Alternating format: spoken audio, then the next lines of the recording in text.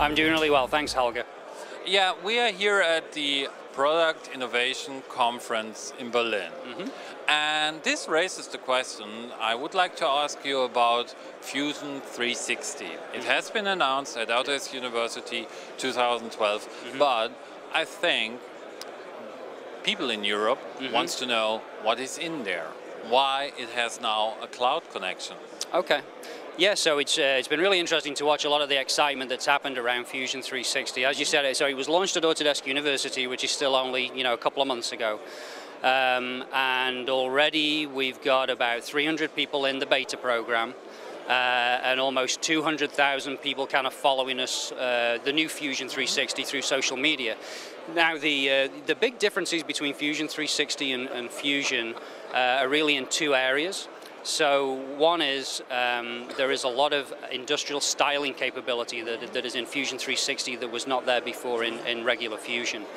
Um, so that's really the um, kind of embodiment of a lot of the, you know, the alias technology, but also what we, we got from T-splines. So there's always been a lot of anticipation about, you know, what we would do with that technology, and really what you can see now in Fusion 360 is a lot of that beginning to come through, so a lot of that expertise. So uh, capability-wise, that's probably one of the biggest differences. But then, of course, the other thing, uh, as you mentioned, is Fusion 360 is a cloud-connected product. So really what that helps users do is collaborate much more closely with each other around their data. Mm -hmm. So um, this means the fusion technology around alias for inventor functionality mm -hmm. has been extended. So, but but this, yeah, between the connection between desktop engineering and cloud, mm -hmm. where is where is uh, let's say the big benefit for that mm -hmm. Autodesk is taking this new journey into a new mm -hmm. technology area mm -hmm. with the cloud technology integrated? Yeah, it, it's, a, it's a good question. So, I mean, yeah, we, we, we talked a lot in the last year about technologies like Fusion 360, Simulation 360, PLM 360, which are very much true cloud-based applications. Um, but but it, it's, it's important for us to point out that um, it's all about the desktop and the cloud.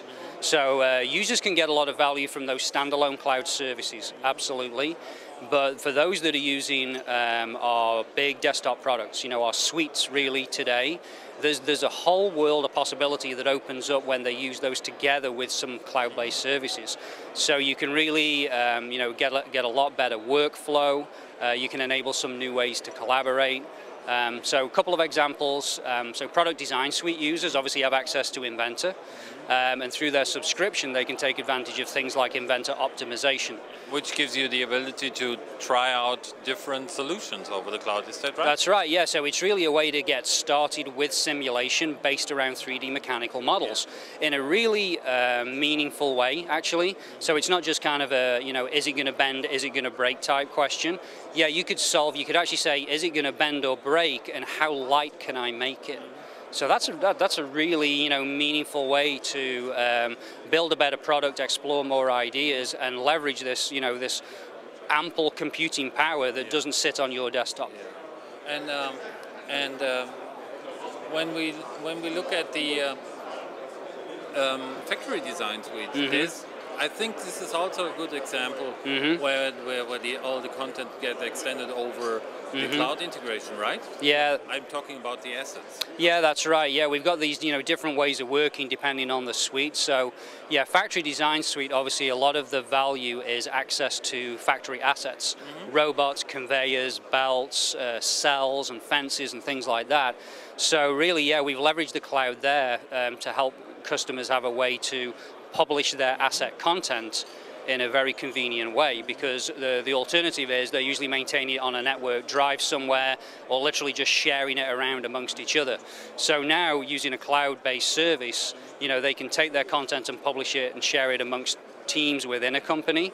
Uh, ultimately, there is actually a platform there, of course, which could enable a whole marketplace type approach where content can be generated, it could be shared, and possibly even monetized, you know, for these yeah. assets. So, yeah, the, I think it is a very uh, interesting to see how much content has been developed in that area mm -hmm. in the last few months. Uh, yeah. I think, yeah. Yeah, well, that's it. It's, it's, kind of one of those things. I think there was a lot of pent up demand there, mm -hmm. but really just no convenient mechanism um, for people to be able to, you know, get it out so that it could be consumed. So now that the mechanism is there, yeah, we're seeing a lot of activity ramping up there in terms of the asset creation, which is really encouraging. I think it's a, a good way to demonstrate that connection, right? You know, you've got these great desktop solutions, and you can have a really powerful workflow between uh, you know, AutoCAD and Inventor to lay out the factory, uh, but then you can leverage things like the cloud to pull down the right kind of assets or publish them back up again. Um, so you really get that, that really neat workflow. Um, one last question I mm -hmm. have. What about um, beta testing um, Fusion 360? Mm -hmm. Mm -hmm. So when it will be available, I assume it will be available on Autodesk Labs, mm-hmm. but do you have an idea when it will be available there? Yeah, um, the, the, team's working really hard right now. So as I mentioned, since AU, um, we've accepted, I think it's almost 300 customers into a beta program. We're probably at the, almost at the limit now, of kind of what we can manage because we're trying to pay very close uh, attention to all those customers. But um, you know, all things being well, uh, we're gathering a lot of feedback. We'll keep improving the product, but, but, we expect to be able to put this in the hands of everybody sometime this year. So it really won't be very long at all. Uh, okay. Yeah, and one of the other things, Holger, I did want to mention. Yeah. Um, so there is actually um, coming soon uh, an interactive product experience. Uh-huh. So even if you can't get into the beta program, uh, I would encourage everybody to sign up for, yeah. for the information that you can receive automatically because sometime really soon they'll be getting a link yeah. So that they can actually go explore the product without actually being part of the beta program as well. So. Okay, and it is more secure that the local workstation yes. runs smooth, yeah? Yep, absolutely. In the development phase. Yeah, yep. Okay, so thanks, Grant, for your time and your explanation, and have a great rest of the conference. Thanks very much, you too.